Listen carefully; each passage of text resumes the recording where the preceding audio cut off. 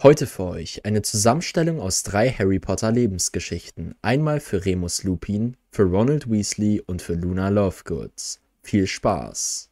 Im heutigen Video werden wir das Leben von Remus Lupin durchleuchten und versuchen alles zu verstehen, was in seiner Lebenszeit vor sich ging. Und das war eine ganze Menge. Und jetzt lasst uns ohne weitere Umschweife mit dem Video starten. Remus Lupin wurde am 10. März 1960 geboren und wuchs in einer Zaubererfamilie auf. Sein Vater war ein Zauberer und seine Mutter eine Muggelstämmige, was in der reinblütigen Zauberergemeinschaft oft auf Ablehnung stieß. Bereits in seiner frühen Kindheit stellten seine Eltern fest, dass er ein Werwolf war, und sie entschieden sich, ihn zu Hause zu unterrichten, um ihn vor der Diskriminierung und dem Risiko einer Infektion anderer zu schützen. Remus fand jedoch Trost in der Welt der Bücher und lernte schnell, wie man zaubert und Zaubertränke braut. Auf die Werwolf-Angelegenheit kommen wir aber später nochmal zurück. Als Remus elf Jahre alt war, erhielt er seinen Brief zur Aufnahme in Hogwarts und war sehr begeistert, eine Schule zu besuchen, wo er sich sicher fühlen konnte und gleichzeitig sein Wissen und Können erweitern konnte. Schließlich erlaubten seine Eltern ihm, die Schule zu besuchen. Allerdings hatte Remus auch hier Probleme, da er seine Werwolf-Identität geheim halten musste. Er hatte niemanden, mit dem er darüber sprechen konnte und musste sich häufig aus gesellschaftlichen Veranstaltungen zurückziehen, um seine Verwandlung zu verbergen.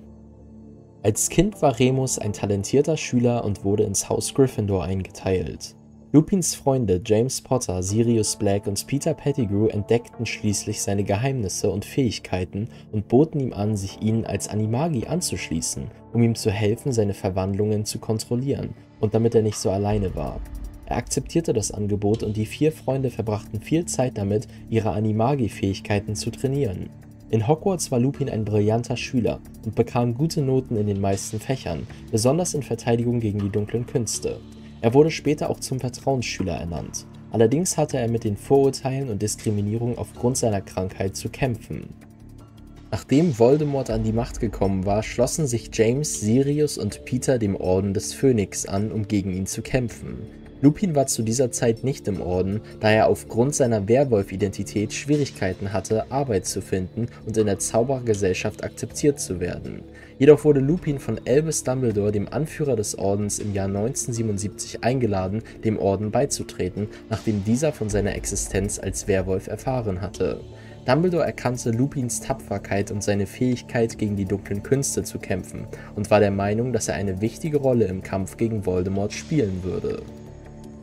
Lupin trat also dem Orden des Phönix bei und trug dazu bei, wichtige Informationen über Lord Voldemort und seine Anhänger zu sammeln. Er war auch Teil von verschiedensten Missionen und Kämpfen gegen die Todesser, darunter auch die Verteidigung von Hogwarts während des Kampfes um die Schule in Harrys siebtem Schuljahr. Lupin war ein wichtiger Teil des Ordens. Er war während des ersten Krieges gegen Voldemort ein wichtiger Teil des Widerstands und kämpfte tapfer.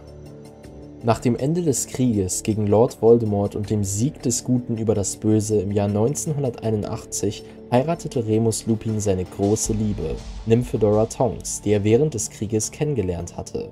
Zusammen bekamen die beiden einen Sohn namens Teddy Lupin, Allerdings war ihre Ehe von Anfang an schwierig, da Lupin immer noch von seiner Vergangenheit als Werwolf geplagt wurde und sich seiner Rolle als Ehemann und Vater unsicher fühlte.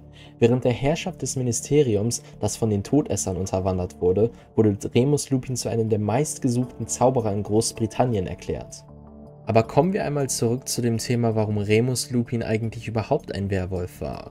Im Jahr 1965 wurde Fenrir Greyback, ein berüchtigter Werwolf, vom Zaubereiministerium zur Befragung vorgeladen, um über einen Angriff auf zwei Muggelkinder auszusagen, bei dem diese ums Leben gekommen waren. Greyback konnte alle Ministeriumsmitarbeiter täuschen und ihnen weismachen, er habe nichts damit zu tun gehabt, außer einem. Lyle Lupin konnte körperliche Besonderheiten an Greyback feststellen, die auf einen Werwolf schließen ließen. Dies veranlasste ihn, den Ausschuss zu bitten, dass Greyback bis zum nächsten Vollmond, der nur noch ein Tag entfernt war, in Gewahrsam genommen werden sollte. Die anderen Ausschussmitglieder waren sich einig, dass diese Vorsichtsmaßnahme unnötig war, und in dieser Phase begann Greyback Lupin zu verspotten. In seiner Wut begann Lupin Werwölfe als seelenlos, böse und nichts als den Tod verdient zu bezeichnen, etwas, das Greyback nie vergessen würde. Nach Lyle Lupins Wutausbruch wurde er aus dem Raum verwiesen und Greyback wurde daraufhin freigelassen. Doch bevor der Zauberer, der ihn aus dem Untersuchungsraum begleitete, einen Erinnerungszauber auf Greyback anwenden konnte, überwältigte ihn Greyback und floh zusammen mit drei anderen Werwölfen. Von diesem Tag an begann Greyback seine Rache an Lyle Lupin zu planen, dem Zauberer, der so unverblümt gesagt hatte, er verdiene nichts als den Tod. In einer schicksalshaften Nacht drang Greyback durch ein Fenster in das Haus der Familie Lupin ein und griff Lyles Sohn Remus an, der noch nicht einmal fünf Jahre alt war.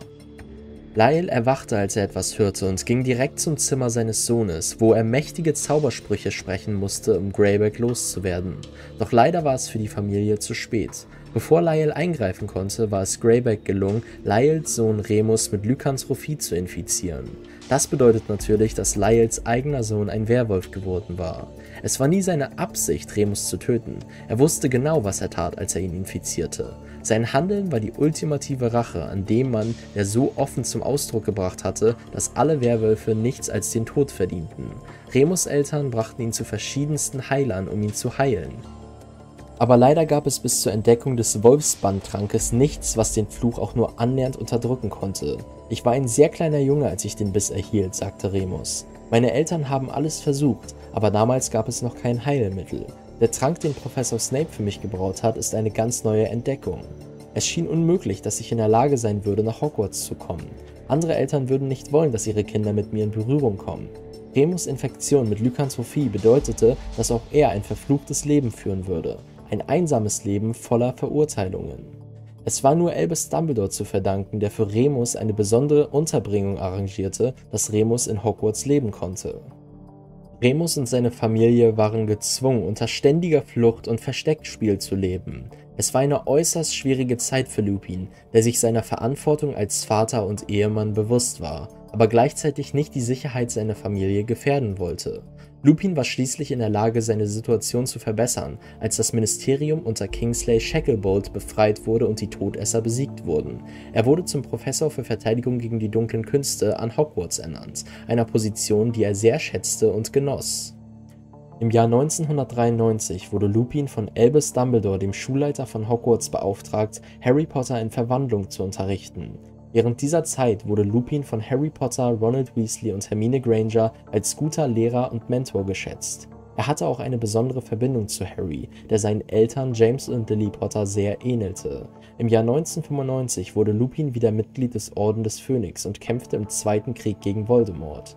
Während dieser Zeit wurde er auch wieder mit seinen alten Freunden James und Lily und Sirius konfrontiert, die ihm im Leben nach dem Tod erschienen waren. Leider war Lupins Zeit als Professor nicht von langer Dauer, da er aufgrund seiner Werwolfsidentität entlassen wurde. Lupin war der Ansicht, dass er nicht in der Lage sein würde, ein guter Vater für sein Kind zu sein und dass sein Werwolf-Gen es für ihn schwierig machen würde, ein normales Leben zu führen. Nach seiner Entlassung wandte sich Lupin wieder dem Kampf gegen die dunklen Künste zu und schloss sich der neu gegründeten Widerstandsgruppe an. Lupin spielte eine wichtige Rolle bei der Planung und Durchführung der Operation, um Voldemort und seine Anhänger zu besiegen. Leider endete Lupins Leben tragisch, als er und seine Frau Tonks während der Schlacht von Hogwarts im Kampf gegen die Todesser getötet wurden. Ihr Sohn Teddy Lupin wurde von seiner Großmutter Andromeda Tonks aufgezogen. Insgesamt war Remus Lupin ein Mann von großer Tapferkeit und Loyalität, der sein Leben der Bekämpfung der dunklen Künste und dem Schutz derjenigen widmete, die er liebte. Sein Vermächtnis lebte in der Gestalt seines Sohnes Teddy weiter, der später als Auro für das Zaubereiministerium arbeitete. In den folgenden Minuten werden wir uns in die faszinierende Geschichte des bemerkenswerten rothaarigen Gryffindor-Schülers vertiefen, der neben Harry Potter und Hermine Granger eine entscheidende Rolle beim Kampf gegen die dunklen Künste spielte. Jetzt also für dich das Leben von Ronald Weasley. Im heutigen Video werden wir über seine Lebensgeschichte und seine Person im Allgemeinen sprechen. Außerdem werden wir natürlich seine Beziehung zu Hermine Granger und seine spätere Familie analysieren. Ronald Billius Weasley ist einer der Hauptcharaktere der Harry Potter-Reihe und einer der engsten Freunde von Harry Potter und Hermine Granger. Er wurde am 1. März 1980 geboren und wuchs in einer großen, aber finanziell bescheidenen Zaubererfamilie auf. Er war der jüngste von sechs Brüdern. Er hatte fünf ältere Brüder, Bill, Charlie, Percy, Fred und George und eine jüngere Schwester, Ginny Weasley. Als Kind hatte Ron oft mit dem Gefühl zu kämpfen, im Schatten seiner älteren Brüder zu stehen. Er fühlte sich unsicher und manchmal etwas überflüssig. Diese Unsicherheit zeigte sich auch in seinem Verhalten in Hogwarts, doch trotz seiner Unsicherheit schaffte es Ron, Freunde zu finden, darunter Harry Potter und Hermine Granger. Ron lernte Harry Potter im Alter von elf Jahren in Hogwarts kennen, als sie zusammen im Zug nach Hogwarts fuhren. Obwohl Ron zu Beginn der Freundschaft etwas eifersüchtig auf Harrys Ruhm war, wurden die beiden schnell enge Freunde und Ron half Harry dabei, das Geheimnis um den Stein der Weisen aufzudecken. In Hogwarts war Ron im Haus Gryffindor und hatte eine Vorliebe für das Fach Verteidigung gegen die dunklen Künste und das Quidditch-Spiel. Er war ein talentierter Hüter und trat später dem Gryffindor Quidditch-Team bei. Das ist jedoch erst im sechsten Jahr passiert. Ron hatte auch eine romantische Beziehung mit Lavender Brown während seines sechsten Schuljahres, obwohl diese Beziehung eher oberflächlicher Natur war. Später während des Krieges kam er schließlich mit Hermine zusammen, als sie beide bei der Suche nach Horcruxen halfen. Ron spielte eine wichtige Rolle bei der Zerstörung eines Horcruxes und half dabei, das Schicksal der Zaubererwelt zu verändern. Nach dem Krieg arbeitete Ron zusammen mit seinem Bruder George in ihrem Scherzartikelladen Weasleys zauberhafte Zauberscherze. Er heiratete schließlich Hermine und sie bekamen zwei Kinder zusammen, Rose und Hugo Weasley. Ron war ein loyaler Freund und Familienmitglied, das immer für seine Lieben eintrat und ihnen half, auch in den schwierigsten Zeiten. Das erstmal zur allgemeinen Beschreibung. Jetzt kommen wir zu den einzelnen Bestandteilen seines Lebens. Kommen wir erstmal zu seiner Familie. Rons Familie, die Weasleys, sind eine große Zaubererfamilie in der Welt von Harry Potter. Sie sind eine reinblütige Zaubererfamilie und leben in einem alten, aber gemütlichen Haus, dem Fuchsbau, das in der Nähe von Ottery St. Catchpole im Süden Englands liegt. Die Weasleys haben neun Mitglieder, Arthur und Molly Weasley und ihre sieben Kinder, Bill, Charlie, Percy, Fred, George, Ron und Ginny. Arthur Weasley, der Vater, arbeitet im Zaubereiministerium und hat eine Leidenschaft für Muggeltechnologie. Molly Weasley ist eine fürsorgliche Mutter, die das Familienleben und den Haushalt organisiert und auch im Orden des Phönix aktiv ist. Die älteren Brüder von Ron haben alle ihren eigenen Weg eingeschlagen. Bill arbeitet für die Zaubererbank Gringotts in Ägypten, Charlie arbeitet mit Drachen in Rumänien, Percy arbeitet im Zaubereiministerium und später auch für den Orden des Phönix, Fred und George gründeten ihren eigenen Laden, Weasleys zauberhafte Zauberscherze, bis Fred bedauerlicherweise im letzten Krieg stirbt. Die Weasleys haben auch eine enge Beziehung zu anderen Charakteren in der Harry Potter Reihe, wie beispielsweise zu Hagrid, dem wilden, aber liebenswürdigen Hüter von Hogwarts, und zu Remus Lupin, einem ehemaligen Professor von Hogwarts und Mitglied des des Orden des Phönix. Die Weasleys sind eine warme und liebevolle Familie, die sich immer füreinander einsetzen und auch für andere da sind, wenn es darauf ankommt. Kommen wir jetzt einmal zu der Beziehung zwischen Ron und Hermine. Die Beziehung zwischen Ronald Weasley und Hermine Granger war eine der wichtigsten Handlungsstränge in der Harry Potter Saga. Die beiden hatten während ihrer Schulzeit in Hogwarts oft ihre Meinungsverschiedenheiten und stritten sich häufig, aber trotzdem hatten sie auch viele gemeinsame Abenteuer und kämpften Seite an Seite gegen die dunklen Mächte. Nach dem Ende des Krieges und dem Sieg über Voldemort fanden Ron und Hermine schließlich zueinander und begannen eine romantische Beziehung.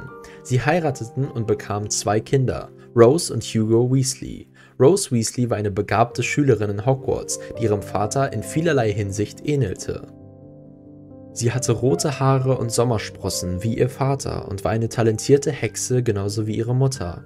Sie war auch sehr klug und erhielt gute Noten in der Schule. Hugo Weasley, der jüngere Sohn von Ron und Hermine, war ebenfalls in Hogwarts. Er war jedoch etwas ruhiger als seine Schwester und hatte eine Vorliebe für das Fach Kräuterkunde. Er war ein guter Freund von Albus Potter, dem zweiten Sohn von Harry Potter und Ginny Weasley. Die Familie von Ron und Hermine waren eng verbunden mit der Familie von Harry und Ginny, sowie anderen engen Freunden und Verbündeten. Zusammen kämpften sie im Krieg gegen die Todesser und kämpften für die Freiheit und Gerechtigkeit in der magischen Welt. Kommen wir nun zu Rons Berufung. Nach dem Ende des Krieges und der Niederlage von Voldemort hatten Ron Weasley und seine Freunde Harry Potter und Hermine Granger große Schwierigkeiten, einen Beruf zu finden, der ihren Interessen und ihren Fähigkeiten entsprach. Ron hatte während seiner Schulzeit in Hogwarts oft Schwierigkeiten in der Schule und wusste nicht genau, was er nach seinem Abschluss tun sollte. In der Zeit nach dem Krieg arbeitete er erst in dem Geschäft seines Bruders George Weasley, Weasleys zauberhafte Zauberscherze, nachdem Fred im letzten Krieg gestorben war, um ihm bei der Wiederherstellung des Geschäftes zu helfen. Schließlich fand Ron jedoch seinen eigenen Weg und arbeitete für eine Weile als Auror, ein Agent des Zaubereiministeriums, der für die Aufspürung und Festnahme von dunklen Zauberern und Hexen verantwortlich ist. Er arbeitete gemeinsam mit Harry Potter und anderen Freunden im Kampf gegen die verbliebenen Todesser und half dabei, die magische Welt wieder zu stabilisieren. Er genoss das Leben als Familienvater und war immer für seine Freunde da, wenn sie ihn brauchten. Kommen wir nun einmal zu Rons Schulzeit. In Hogwarts wurde Ron in das Haus Gryffindor eingeteilt, wo er schnell Freundschaft mit Harry und Hermine schloss. Er hatte oft mit den Erwartungen seiner Familie zu kämpfen, die bereits eine Reihe von erfolgreichen Zauberern hervorgebracht hatte. Aber Ron tat sich in der Schule oft schwer und hatte Schwierigkeiten, mit Hermine in Bezug auf akademische Leistungen zu konkurrieren. Trotzdem erwies sich Ron als treuer Freund und Verbündeter für Harry und Hermine, und gemeinsam erlebten sie viele Abenteuer und Kämpfe gegen die dunklen Mächte, die die magische Welt bedrohten. Ron trug dazu bei, den Stein der Weisen zu schützen, kämpfte gegen den Basilisken in der Kammer des Schreckens, half bei der Rettung von Sirius Black und kämpfte in der Schlacht von Hogwarts gegen Voldemort und seine Anhänger. Obwohl er keine herausragenden akademischen Leistungen erzielte, hatte Ron eine Vorliebe für das Fach Verteidigung gegen die dunklen Künste und war auch ein talentierter Schachspieler. Er hatte eine Schachbegabung, die es ihm ermöglichte, die besten Gegner im Schach zu besiegen, wie wir sogar im Stein der Weisen sehen können. Kommen wir nun einmal zu Rons Freundschaften. Ron hatte in Hogwarts, wie schon erwähnt, zwei sehr enge Freunde, Harry Potter und Hermine Granger. Zusammen bildeten sie das berühmte Trio, das in den Jahren ihrer Schulzeit viele Abenteuer erlebte und gegen die dunklen Mächte kämpfte. Ron und Harry lernten sich im Hogwarts Express kennen und wurden schnell Freunde. Sie teilten viele Gemeinsamkeiten, wie ihre Liebe zum Quidditch und ihre Abneigung gegenüber Slytherin. Obwohl sie sehr unterschiedliche Persönlichkeiten hatten, ergänzten sie sich einander gut und bildeten eine starke Freundschaft. Hermine traf Ron und Harry im Hogwarts Express, als sie auf dem Weg zur Schule waren, und obwohl sie sich anfangs nicht besonders mochten, entwickelte sich im Laufe der Zeit eine enge Freundschaft zwischen den drei Schülern. Hermine war eine brillante Schülerin und unterstützte Ron und Harry bei vielen Abenteuern mit ihrem Wissen und ihrer Intelligenz. Neben Harry und Hermine hatte Ron auch andere Freunde in Hogwarts, darunter seine Brüder Fred und George, mit denen er oft Scherze trieb und gemeinsam Quidditch spielte. Er war auch mit Neville Longbottom und Luna Lovegood befreundet und arbeitete mit ihnen zusammen, um gegen Lord Voldemort und seine Anhänger zu kämpfen. Insgesamt war Ron von vielen Freunden umgeben und hatte während seiner Zeit in Hogwarts viele enge und bedeutsame Beziehungen aufgebaut. Kommen wir nun zu Rons Intelligenz und seinen Charaktereigenschaften. Ronald Weasley hatte sicherlich seine eigenen Stärken und Talente, aber Intelligenz war nicht unbedingt eine seiner herausragendsten Eigenschaften.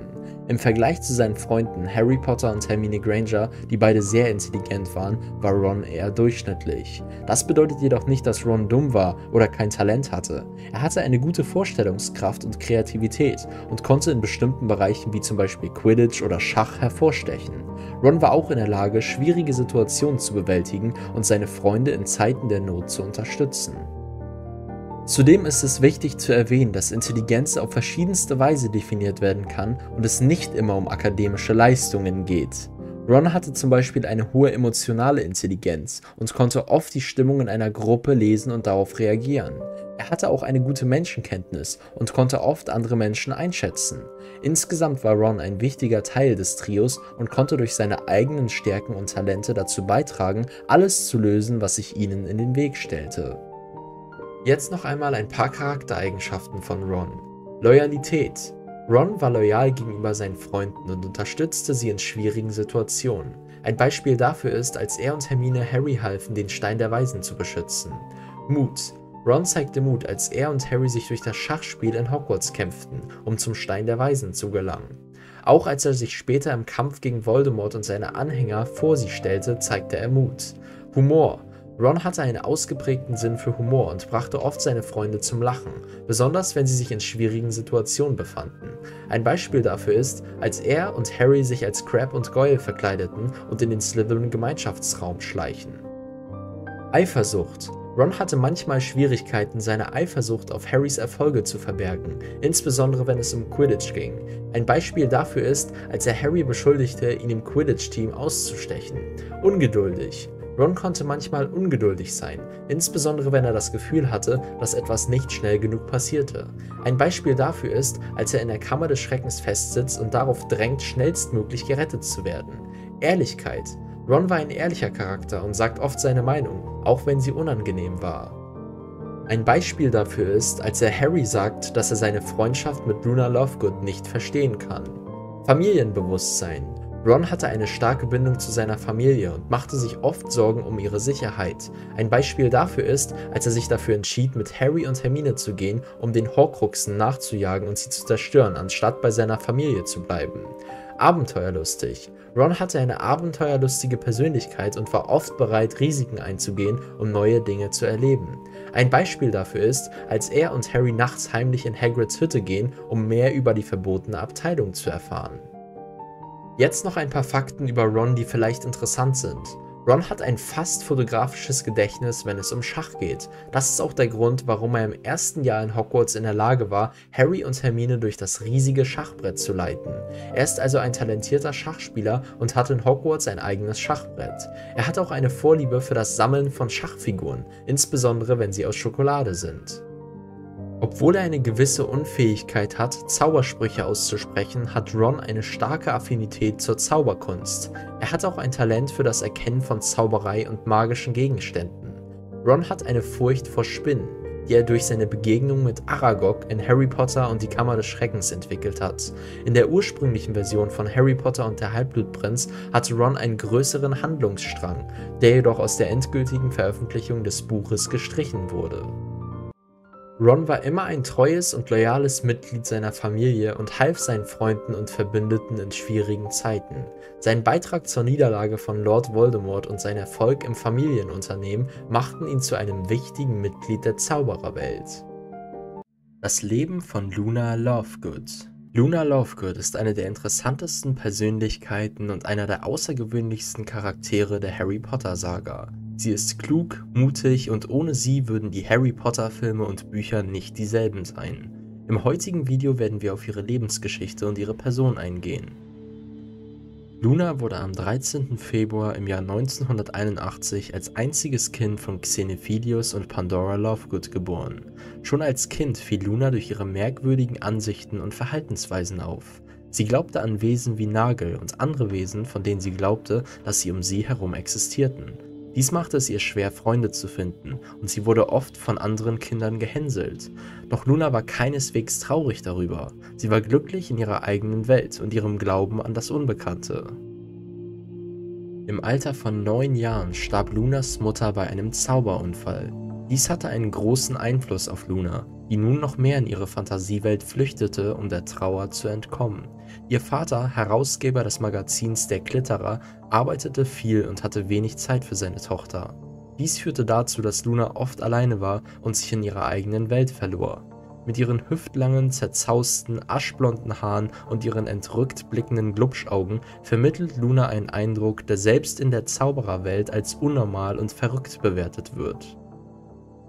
Luna trägt zusätzlich zu ihrem Verhalten auch noch ihren einzigartigen, eigenartigen Schmuck, wie in etwa eine Halskette aus Butterbierkorken oder Radieschen als Ohranhänger. Ihren Zauberstab steckt sie sich immer hinters Ohr, um ihn griffbereit zu haben. Sie glaubte an die Existenz solcher Wesen wie schrumpfhörnige Schnarchkackler, die in der magischen Welt unbekannt sind und als Aberglaube gelten. Mit ihrer verträumten Stimme erklärt sie die Tagesereignisse oder die Machenschaften des Zaubereiministeriums als Folge unergründlicher Verschwörungen. So ist sie zum Beispiel davon überzeugt, dass der Zaubereiminister Fudge eine Privatarmee aus Heliopathen unterhalte. Kommen wir nun einmal zu Lunas Eigenschaften. Sie ist exzentrisch. Luna ist sehr unkonventionell und hat eine einzigartige Persönlichkeit. Sie hat oft ungewöhnliche Ansichten und Interessen, die von anderen als merkwürdig empfunden werden können. Sie trägt gerne bunte Kleidung, hat eine Vorliebe für Haarschmuck und eine spezielle Brille. Sie ist aber auch sehr intelligent. Obwohl Luna manchmal als naiv oder seltsam angesehen wird, ist sie in Wirklichkeit sehr klug und hat ein tiefes Verständnis für die Magie und magische Kreaturen. Luna ist auch sehr scharfsinnig und in der Lage, Muster und Zusammenhänge zu erkennen, die anderen möglicherweise entgehen würden. Luna ist sehr freundlich. Sie ist eine nette und freundliche Person. Sie ist bereit, anderen zu helfen, wenn sie kann und versucht immer das Beste in anderen zu sehen. Ihre Freunde schätzen ihre ruhige und nachdenkliche Art. Außerdem ist Luna sehr mutig. Obwohl Luna manchmal als ängstlich angesehen wird, ist sie tatsächlich sehr mutig und bereit für das einzustehen, was sie für das Richtige hält. Sie hat mehrmals bewiesen, dass sie furchtlos sein kann, insbesondere als sie und ihre Freunde in den letzten beiden Büchern der Harry Potter-Reihe gegen die Todesser kämpften. Sie ist sehr spirituell Luna hat eine tief verwurzelte Spiritualität und glaubt an Dinge wie Karma und Reinkarnation. Sie ist auch sehr offen für die Idee von magischen Kreaturen und Geistern. Insgesamt ist Luna eine sehr faszinierende und einzigartige Person, die sich von anderen in der magischen Gemeinschaft unterscheidet. Ihre ungewöhnlichen Eigenschaften und Überzeugungen machen sie zu einem der interessantesten und inspirierendsten Charaktere in der Harry Potter Geschichte. Und auch sie besuchte, als es für sie soweit war, die Hogwarts-Schule für Hexerei und Zauberei. Als Luna in Hogwarts eingeschult wurde, wurde sie ins Haus Ravenclaw einsortiert. Der sprechende Hut hat sie zwar dem Hause Ravenclaw zugeteilt, aber sie ist auch innerhalb ihres Hauses eine Außenseiterin gewesen obwohl sie von vielen anderen Schülern als seltsam angesehen wurde, fand sie schnell Freunde in Harry Potter, Ronald Weasley und Hermine Granger. Die vier verband eine gemeinsame Erfahrung, sie alle hatten Kämpfe mit Lord Voldemort und seinen Anhängern überlebt. Luna war eine wichtige Unterstützung für die Gruppe, da sie eine einzigartige Sichtweise auf die Welt hatte und ihnen half, Dinge aus einer anderen Perspektive wahrzunehmen. Luna war eine sehr talentierte Hexe und entwickelte während ihrer Schulzeit viele Fähigkeiten. Sie war eine begnadete Fliegerin und konnte auf dem Besen fliegen wie kaum eine andere. Außerdem beherrschte sie die Kunst der Legilimentik und konnte damit Gedanken lesen. Als Harry und seine Freunde die Heiligtümer des Todes suchten, schloss Luna sich ihnen an. Sie glaubte an die Legende der Heiligtümer und wollte Harry und seinen Freunden helfen, sie zu finden. Während der Suche gerieten sie in viele gefährliche Situationen, aber Luna blieb tapfer und optimistisch. Während ihrer Zeit in Hogwarts erlebte Luna viele Abenteuer und wurde bekannt für ihre unkonventionelle Persönlichkeit und ihre einzigartigen Fähigkeiten. Sie war besonders gut im Erkennen von Verkleidungen und Tarnungen und hatte ein besonderes Talent für das Erkennen von Geistern und anderen magischen Wesen. Sie half den anderen, wenn sie konnte, und brachte eine positive Energie in die Gruppe. Nachdem Voldemort besiegt worden war, kehrte Luna in ihr Elternhaus zurück. Sie besuchte Hogwarts nicht mehr und verbrachte ihre Zeit damit, Artikel für den Glitterer zu schreiben und ihre Forschung über magische Wesen fortzusetzen. Sie blieb aber trotzdem mit Harry, Ron und Hermine in Kontakt und half ihnen, wo sie konnte. Eine Sache, die ich persönlich an dem Charakter von Luna sehr doll respektiere, ist folgende. Luna lügt nie und spricht auch unangenehme Wahrheiten aus, denn trotz ihrer verträumten Art ist sie sehr intelligent. Als Luna schließlich erwachsen wurde, wurde sie zu einer der führenden Expertinnen für magische Wesen und veröffentlichte viele Artikel und Bücher über das Thema. Sie heiratete schließlich einen Mann namens Rolf Scamander, den Enkel des berühmten Magizologen Newt Scamander. Gemeinsam reisten sie um die Welt, um neue magische Wesen zu entdecken und zu studieren. Luna und Rolf hatten zwei Kinder und führten ein glückliches Leben, aber Lunas Leben sollte nicht immer so glücklich sein. Während des Zweiten Zaubererkrieges wurde ihr Vater von Voldemort und seinen Anhängern entführt, weil er Informationen über den Aufenthaltsort von Harry Potter preisgeben sollte. Luna und ihre Freunde halfen bei der Rettung von Xenephilius, aber dieser Vorfall hatte eine tiefe Wirkung auf Luna. Sie erkannte, dass ihre eigene Unabhängigkeit und Freiheit von denen abhing, die sie liebte, und dass sie bereit war, alles zu tun, um sie zu schützen. Nach dem Krieg kämpfte Luna weiter gegen die Unterdrückung von Muggelgeborenen und anderen Minderheiten an. Luna war eine wichtige Stimme in der Harry Potter Saga und brachte ihre Sichtweise und Optimismus immer mit. Luna musste jedoch auch schwierige Entscheidungen treffen. Luna entschied sich für den Widerstand zu kämpfen und ihr Leben zu riskieren, um für das einzustehen, was sie für das Richtige hielt. Diese Entscheidung hatte jedoch Konsequenzen, als Rolf und ihre Kinder in Gefahr gerieten und Luna gezwungen war, sie zu schützen.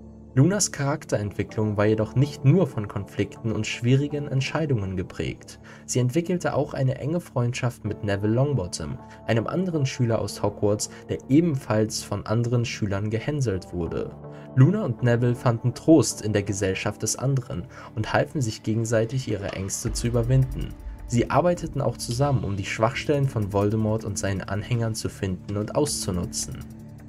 Kommen wir nun einmal zu Lunas Berufung. Nach dem Abschluss der Hogwarts-Schule für Hexerei und Zauberei hatte Luna Lovegood keine klare Berufung, jedenfalls noch nicht. In einem Interview mit dem Klitterer gestand sie, dass sie immer noch unsicher war, was sie mit ihrem Leben anfangen sollte. Luna hatte jedoch immer eine Leidenschaft für magische Kreaturen und glaubte, dass es ihre Bestimmung war, ihnen zu helfen und sie zu schützen. Nach der Niederlage von Lord Voldemort und dem Ende des Zweiten Zaubererkrieges schlug Harry Potter Luna vor, dass sie eine Karriere im Magizologie-Department des Zaubereiministeriums in Betracht ziehen könnte. Kommen wir nun zu ihrem Ehemann und ihren Kindern. Luna Lovegood heiratete wie schon erwähnt Rove Scamander, den Enkel des berühmten Magizologen Newt Scamander. Rove und Luna hatten eine gemeinsame Leidenschaft für magische Kreaturen und teilten viele Abenteuer bei der Suche nach seltenen und gefährdeten Arten auf der ganzen Welt. Sie bekamen zwei Kinder, zwei Söhne, Lawson und Lysander. Lawson und Lysander waren in Hogwarts Schüler im selben Jahrgang wie James Sirius Potter, Albus Severus Potter und Lily Luna Potter, den Kindern von Harry Potter und Ginny Weasley. In ihrer Schulzeit waren sie gute Freunde und teilten das Interesse an magischen Kreaturen ihrer Mutter. Es ist nicht viel über das Leben von Luna und Rolf nach dem Zweiten Zaubererkrieg bekannt, aber es ist anzunehmen, dass sie weiterhin in der Magizologie tätig waren und ihre Kinder bei ihren Abenteuern mitnahmen. Wie auch ihre Mutter engagierten sich Lawson und Lysander für den Schutz der magischen Kreaturen und unterstützten die Arbeit ihrer Eltern. Im Laufe ihres Lebens wurde Luna zu einer wichtigen Persönlichkeit in der magischen Welt. Sie war eine Expertin für magische Wesen, eine Kämpferin für Freiheit und Gleichheit und eine Freundin für viele. Sie wurde von ihren Freunden und Bewunderern gleichermaßen geschätzt und respektiert. Lunas Geschichte ist eine Geschichte von Mut, Freundschaft, Liebe und Optimismus. Sie war eine Person, die ihren eigenen Weg ging und ihre Überzeugungen hochhielt, auch wenn dies schwierig war. Ihre Sichtweise auf die Welt war einzigartig und half anderen, Dinge aus einer anderen Perspektive zu sehen. Luna Lovegood wird für immer in Erinnerung bleiben als eine der bemerkenswertesten Persönlichkeiten der magischen Welt und ihr Vermächtnis wird noch lange überdauern. Ihre Arbeit als Autorin und Forscherin inspirierte viele junge Zauberer und Hexen, sich für magische Wesen und ihre Rechte einzusetzen. Und so endet die Geschichte von Luna Lovegood, einer Person, die ihre Spuren in der magischen Welt hinterlassen hat und deren Leben und Werk noch lange nach ihrem Tod weiterleben werden. Sie inspiriert uns, für das einzustehen, was wir für richtig halten, auch wenn es schwierig ist. Sie hat uns gezeigt, dass wir die Welt verändern können, wenn wir uns trauen, für das einzustehen, was wir glauben. Auch wenn der Weg dahin steinig ist, sollten wir uns immer dabei selbst treu bleiben Luna hat uns außerdem gelehrt, wie wichtig Freundschaft und Liebe sind. Durch ihre Freundschaft mit Neville hat sie gezeigt, wie viel Unterstützung und Stärke man durch die Freundschaft mit anderen erhalten kann. Und ihre Beziehung mit Neville hat uns gezeigt, dass Liebe keine Grenzen kennt und dass sie uns die Kraft geben kann, die wir brauchen, um schwierige Herausforderungen zu meistern. Die Geschichte von Luna Lovegood ist also nicht nur eine Geschichte über eine bemerkenswerte Persönlichkeit, sondern auch eine Geschichte über die Kraft der Freundschaft, der Liebe und des Mutes. Und das war es auch wieder mit diesem Video. Ich hoffe, dir hat das Video gefallen und wenn es das hat, würde ich mich sehr über einen Daumen nach oben und ein Abo freuen. Wenn du Fragen oder Anmerkungen hast, schreib sie mir doch gerne in die Kommentare. Bis dahin, bis zum nächsten Mal bei Harry Potter Wissen.